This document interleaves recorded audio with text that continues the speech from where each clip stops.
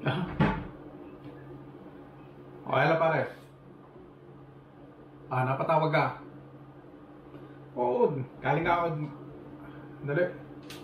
Ako, galing ako doon kanina. Bumili nga ako dito ng ano. oh. Ha? Bumili ko ng ano, itong parang dalang hita na orange. Masarap naman. Hmm. Eh, mga ganun ko ito binili eh. Oh, galing ka kay Aling Berta. Ano naman na? Naku po. Sabi ko naman sa'yo, huwag ka nang pupunta doon. Alam mo naman. Yung asawa mo, pagsabihin mo, tuwing umaga na lang. Hindi nga ako nagagawi ko doon. Oh. Ito yung kakambal ko nga eh. Sabi ko, huwag pupunta doon. Oh. Ito si Ison, naghuhugas ng pinggan. Luluto nga ako sa Igan, papa, papabili dapat ako ng pati sabi ko wag wag na dumaan doon kita sa tindahan ng ha? Oh, ayoko pa daan sa tindahan ng Aling Berta. Nako. Alam mo na pag nagdaan ka doon eh kikistot-kistot pa lang yung paglalakad mo, alam na agad. Marami pa silang alam. Hmm, mas alam nilang naku, bawat kuyukot ng buhay mo. Oh.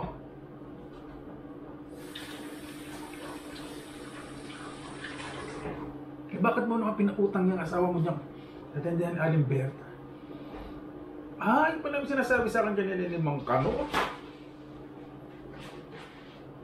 May, may mutang doon din sa tindahan ni Aling Berta kasi natalo sa bingo. Oo. Oo. Yung pa pampuhunan daw sa bingo, pabibili daw dapat ng tat- tatlong salop na malagit para gawing biko. Ah! Yan mo, asawa mo pala si Marites. Siya pala yung sinasabi ni Mang Kanor. Ano? Ah, ikaw ba umani nun? Oh, umani ka pala ng malagkit eh. Bakit? Binenta mo kay Aling Berta. Okay. Kasi di mo alam si Marites, nagkagawa ng biko at ibebenta. Ay, naku pare. Hmm. Nagugulan ako. Ulitin natin paano kwento ah. Umani ka. Ah, okay. Umani ka. Tapos pinenta mo yung ani mo. Palay. Kay Mang Kanor. Yun. Kasi mo kwento mo. Nung binayo ni Mang Kanor, ah, nagbenta kay Aling Berta. So si Aling Berta naman binalita. So, okay, nakarating sa buong sityo. Yung malagkit. Okay, namura. Kasi nga nabili sa'yo. Oo. Kaya itong asawa mo naman, dahil walang kahilig-hilig sa bingo, ginawang dahilan dahil mura nga daw yung malagkit, umisay ng, pam, ng pera, pambibiling malagkit. Ano? Pero hindi yung sinabi na malagkit ang bibilin. Ah, okay. Kasi sinabi niya gusto niya magnegosyo, kaya binigyan mo ng pera. Tapos ito ng mga asawa mo, nagbingo. So yung puhunan, natalo sa binguhan. Kaya ngayon, pumunta doon kay Alan Beta para umutang ng malagit para gawin puhunan at sabihin sa'yo nakabili ang asawa mo ng malagit kay Aling Berta. Ayun, malinaw. At ngayon, kumakalat Oo, sa mga impact, ang mga bruhang kakalat-kalat ng mga maligno. Nako! Oo, yung mga bruhang yan. Ah. Yung asawa mo ng matang Kalimber kasi natalo sa bingo.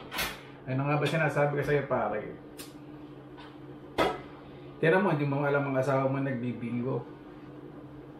Oo. Ah. Oo.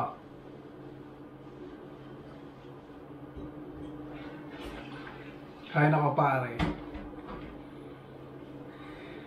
Dali, haluin ko muna yung niluluto kong buto-buto kasi nagluluto ko na sinigang. Mm. Lagyan mo na pare.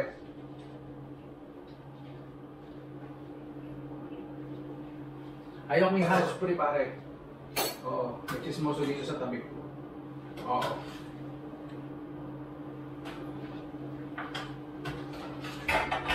Nako. Hindi mo kaya na gagawin mo na mayroon palang diversyon ng asawa mo. Si Marites, mahilig magbingo. Naku, alam ko yung bingohan na yan. Oo, sa pagitan ng pader yan. Ng bahay ni Mang ano, saka ni Alan Berta, di ba meron dun ano, sagingan sa likod. Oo, pagkatapos ng sagingan, may tayo ni Mang talbos ng kamote. Eh, may bagong hawan doon. Sabi nga ni ni Mang Kanor, tatayan niya daw yan ng pahingahan. Oo, para pagkatapos niyang umani, doon siya magpapahinga. Oo, kasi malapit sa salog yun. Doon niya ilalagay yung kalabaw. Nagulat na lang daw siya, nagpaalam si Aling Beta kung pwede daw magpahinga din daw doon minsan. Pumayag naman siya kasi malaki naman daw yung lugar, pwede doon mag makilagay ng papag. Pumayag naman si Mang Kanor, eto naman si Mang Kanor kahit gano'n eh, mabait naman yun. So nakita naman ni Mang Kanor, meron ng lona o meron ng mga bully. Hindi na nakaimik si Mang Kanor kasi hindi naman siya hindi naman siya napeperwisyo. Ang kagandahan kasi si Mang Kanor, o nakapagbenta ng merienda sa nagbibingo. Eh, hindi naman chismoso si Mang Kanor. Oh, si Mang Kanor, hindi yan nagkwento kay Aling Berta, alam mo na. Ay, nako. Ayun ang nga sinasabi ko eh. Basta may mga hawan-hawanan niya sa mga kung saan saan masusukan na lugar, sigurado meron dyan magsusulok-sulok. Ay, nako pare. So, ano gusto mong gawin? Magsusumbong ka sa barangay. Eh, gusto mo bang masama ang misis mo sa barangay dahil kasama sa nagbibingo? Eh, lalo na si Kaaling Berta, eh, kumpare niya yung kapitan. O, ano naman yung gagawin mo? Ay, nako pare. Tatanungin mo ko ng payo. Oh. Hindi nga pwede pumunta ng barangay. Oh. Ah, sige pare, ganito na lang payo ko sa'yo. Ikaw na lang mismo ang bibili. Huwag lang sa tindahan ni Aling Berta kung saan mamimili. Kung ano ang dapat bilhin. Mm. At manghimi ka ng resibo sa asawa mo. Pero pare, para naman hindi mawala yung tiwala mo sa asawa mo at tiwala niya sa iyo na nagdududa ka sa kanya dahil sa nangyari ngayon. Ganyan talaga ang sugal pare. Mm. Kahit yung manok mo sa ilalim, kahit yung manok na nagdadalaga pa lang sa silong sa silong nyo, talagang may bebenta niya para lang merong pantaya sa sugalan. Ah, totoo yung pare. Mm, may kaibigan ako ganyan ako. Pinusta lahat. Wala na lang eh. Oo, wala na lang eh. Pusta yung kanyang asawa na talaga namang nagagalugod, na nagagalugod ang buong sitio para sa kwento na direct. Talong-talo talaga. Talong-talo, palong-palo, talong-talo. Si Aling Berta sa pagiging chismosa. Oo, naku po. Oh, ito yung payo ko. Hayaan mo na lang yung asawa mo kahit kung saan siya magpunta. Kung sabihin mo lang sa kanya, huwag nang dadaan sa tindahan ni Aling Berta. Bigyan mo siya ng pera at hihingan mo siya ng resibo. Dapat sa resibo, nakasulat doon kung ano yung mga pinamili niya. Ano? Paano mo sa palengke siya bumili at wala namang mga resibo yun? Hindi. Okay lang kung ask sabihin mo lagi siya sa grocery pumunta. Hmm, para wala kang nanginisip. Ganun yun.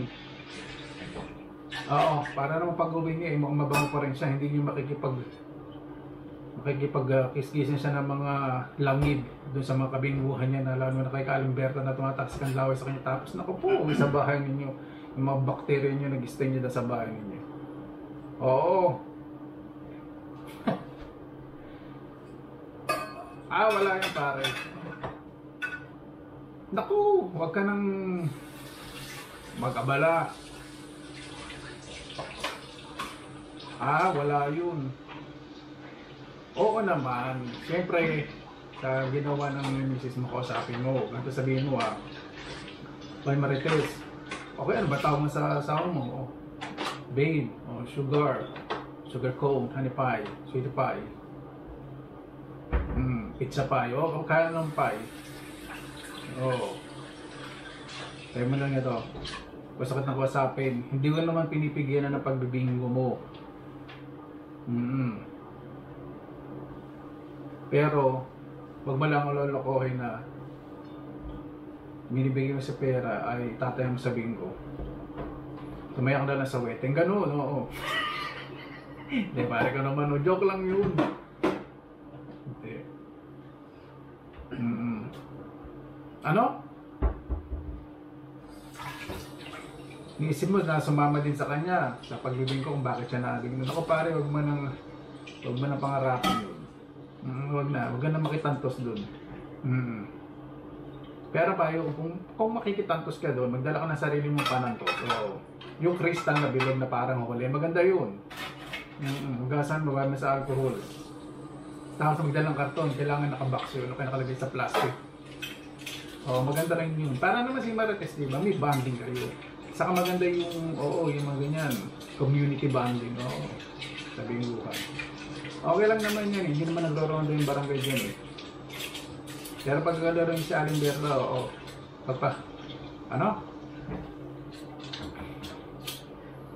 Hindi, may mga nabibili namang ano eh, panos sa kariba. Hindi kayo mang kano ha. Yung sa kabilang kanto, eh, nakalimutan yung pangalan namin, nabibili ng mga panos siya. Naku, paboritong paborito ni Mang Berta, ni Aling Berta yun. Oo, pag magbibingo kayo, yun. Oo, bigyan mo si Aling Berta. Mm Sigurado pag luluto ka na ng sopas o kaya goto. Oo, okay, tamparado. Tamparado na inanim mo. Pero parang joke lang yun, sige. Dali, sabihin ko na itong ano ko. Hindi ka marunong mag-type maglaro ng bingo. Ba yung sasama si Marites? Oo, sige. Mag-practice muna kayo sa bahay mag-bingo. Oo. Baka naman mag-bingohan yung bahay niyo. Mag-practice lang kayo.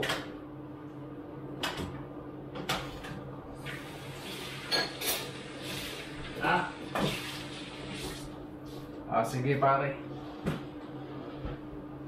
Ah, sige. Ano lang muna tayo. Mm-mm. Pasagot talaga mo ito pagluluto ng sinigang. Naman ang paborito ko to. Nako.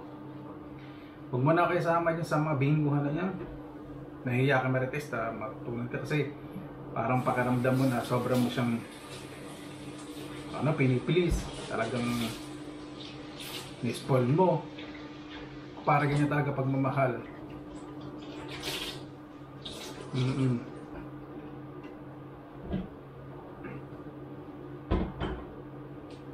Uh, love is like a coconut shell. It's hard to get. The sweetest juice. How do you know if the juice is sweet? Try it. Wala lang parang nag-iisip lang ako sa misa lang. Image ko lang yun. Hmm, love is blind. Yun totoo. Oo. Kasi, kaya nga sinabing love, di ba? Ano ba symbol ng love? Puso. Oo. Ayun ang gumagana, hindi yung utak. Oo. Kahit sino dyan ang pinakamatalino sa buong mundo. Pag gumana ang puso. Pag gumana ang puso, talagang pag na-inlove ka, minsan nagiging tramo ka. Hindi, hindi ako pare galit. Inaalala lang ko. Nakaka-read away lang ako. Ah, sige. O, oh, ganyan pare. Naintindihan kita. Oh, hindi ka ba pare? Ay, nakalta na naman tayo. Okay lang yan, sige, labas mo. Huwag lang uutot ha, hindi nyo. Napatawa lang kita. Mm-mm. Mabait naman ang asawa mo eh. Oo, mabait naman talaga. Siyempre pag nalulusunod ka, hindi naman importante kung mabait o hindi. Iba kasi yun, oo. Natututo siyang magsinungaling dahil sa pagsusugal. Oo. Ganyan talaga.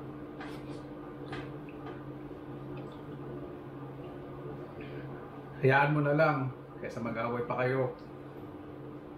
Mm. Honest naman yung asawa mo eh. Yun nga lang, hindi maganda na balitaan mo yung pagsinungaling niya. Kaya Aling Berta. Mm, ako talaga yung mga Nung nadadaan ako dyan talaga sa tindahan ni Aling Berta, no? Ewan ko ba? Parang umiinit ang pakiramdam ko. Mga salot sa lipunan talaga yun. Ano sumisira talaga ng pamilya?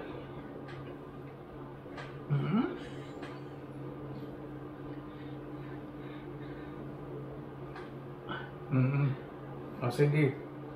O sige pare, pahinga ka muna ah. Naku, hindi ako pwedeng win mo yan pare.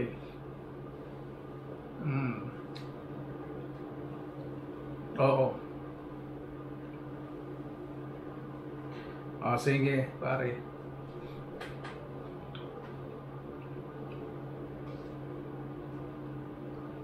Oo.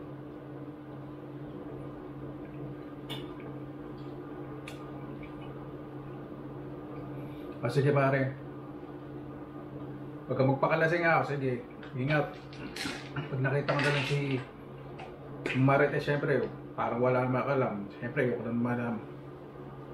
Ayoko naman tulad ng mga intrigertis mo kasi dakdaking na dyan sa mga harap ng tindahan na gustong makialam kalam alam alam na pamumuhay dagdag pa nilang mga abogado sa pagbibigay ng advice dagdag pa nila ng mga reporte na wala pang balitang lumalabas ay lumalabas na sa mga bibigit mga isipan nila ng mga matataling haga at malikhaing mga pag-iisip na nang wala kwenta-kwenta sa buhay no? ah sige ah, sige. Sige. Salamat. Salamat sa tiwala sige pare nakala mo no? Hindi ko alam na usisa usisa dyan. Pero di ba nakakalibang?